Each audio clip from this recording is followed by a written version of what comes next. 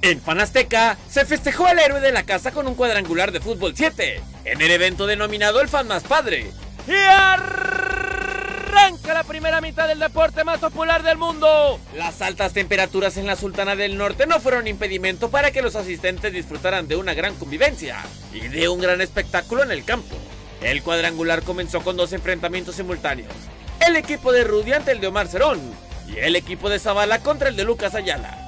Rudy derrotó a Omar 2 a 1, mientras que los de Zavala le pegaron 4 a 1 al equipo de Lucas Ayala.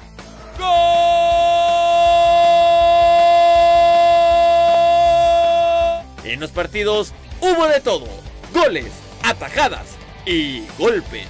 Movemos hacia, bueno, mejor acá, mire Regio, no, no, terrible lo del Regio Aguirre, ya sufrió una lesión espantosa.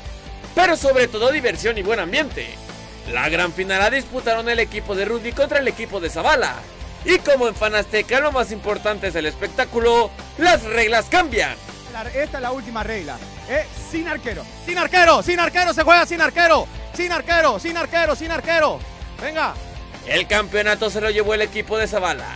Y se coronaron como el primer campeón del fan más padre. Pero la realidad es que ganamos todo.